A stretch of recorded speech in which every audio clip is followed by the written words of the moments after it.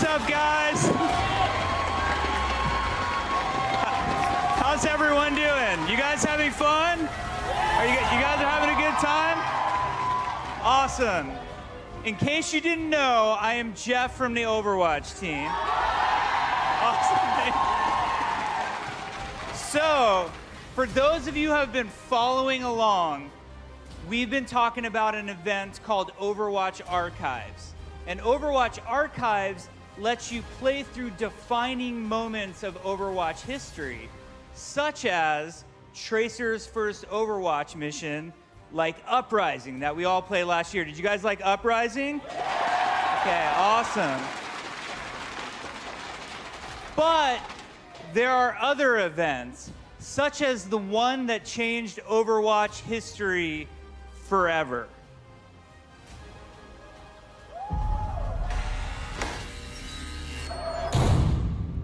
Gabriel. Start from the beginning. We arrived in the Venice safe house and set up surveillance on the manor. We executed our plan under cover of darkness.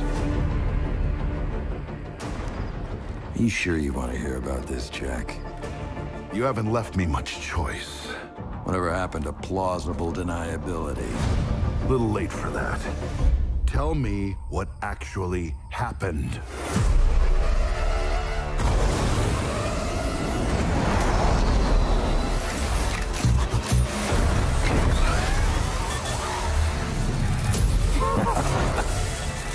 Well, Jack, that's one hell of a story. Everyone through the breach. We're getting out of here. We need to head to the extraction point right away. So much for keeping a low profile. Still knows how to rescue.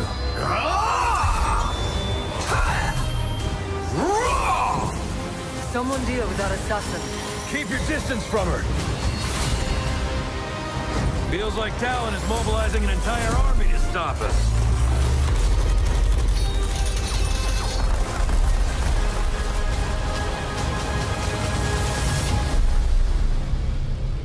What about you?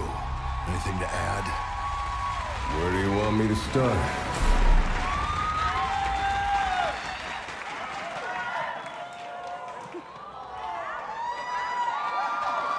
Jeff, what did we just see? All right, so this is the mission where we start to see a change in Gabriel Reyes, who becomes Reaper, right? And we get to see Blackwatch in the first mission where the public even knows about Blackwatch. It's really fun. It takes place in Venice, Italy, in a map called Rialto. Um, and it's just a super awesome PvE mission, highly replayable. I think it's going to be a lot of fun. You know, as a Reaper main, I am super pumped about it. I I just have to say it, man. Reaper main. I- I- I'm, I'm super happy about this. All right, so Uprising and Retribution are part of this larger archives event. Can you tell us how this works? Yeah, absolutely. So last year we just called the event Uprising um, because it was the only event that we had, but we wanted to put a wrapper around everything where we could have more Overwatch missions be playable for people. And it's a really fun seasonal uh, event. So, you know, not only are we going to have Uprising available with uh, all heroes mode and story mode, Retribution has all heroes and story mode. Um, we'll have a, a loot box with tons of awesome skins. So I think it'll be really fun. Nice, that's awesome. All right, so tell me, what's different about this brawl? Well, there's a lot different about, about this. I, I think we learned a lot from Uprising. Um, there's a, I think the flow is much better. You get to fight against Talon, which is awesome. It's our first time really seeing Talon units, and we met, we made a bunch of brand new Talon units. So there's a sniper, the assassin, the heavy assault, um, and a bunch of other ones that you'll see. Um, also, there's a lot more variance in the all heroes mode. Uprising, you kind of it played very similarly every time. And one of the things the players were telling us was, hey, we want a lot more change. So when you play Retribution in all heroes mode, you'll see it change up a whole bunch. Nice. All right, that's awesome. That is awesome. Okay, so you guys have had a couple PVE events so far. Uh, Junkenstein's Revenge being one of my favorite. Any fans? Junkenstein's Revenge. There's a couple here.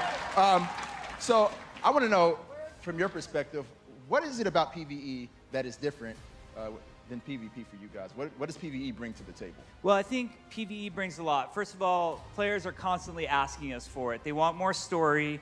Um, I think it also gives a lot of us an opportunity to play heroes we don't normally get to play. Like, for example, I play a lot of tanks and supports because it seems like my team always needs those more than DPS. Yeah. Uh, But like in in Retribution, Genji is one of the heroes. I don't normally get to play Genji, and I feel like my Genji play got so much better as we were making this event, and I learned how to play Genji at a higher level to the point where I was now comfortable locking him in and playing him in PvP, which I thought was pretty cool.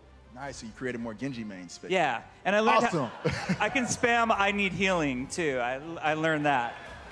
So now I won't get so mad when I see people insta like Genji. awesome. All right, perfect. Uh, I couldn't help but notice this uh, amazing map behind us. This is pretty dope. Could you tell us where this is? Uh, where's this take place? Yeah, this is Rialto, which is a district of Venice, Italy. The team's been dying to do a map in Italy, so this was a great opportunity.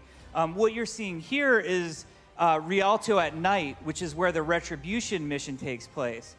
But I think one of the super awesome things about the Retribution event is that we will also be introducing Rialto during the day as a PvP map.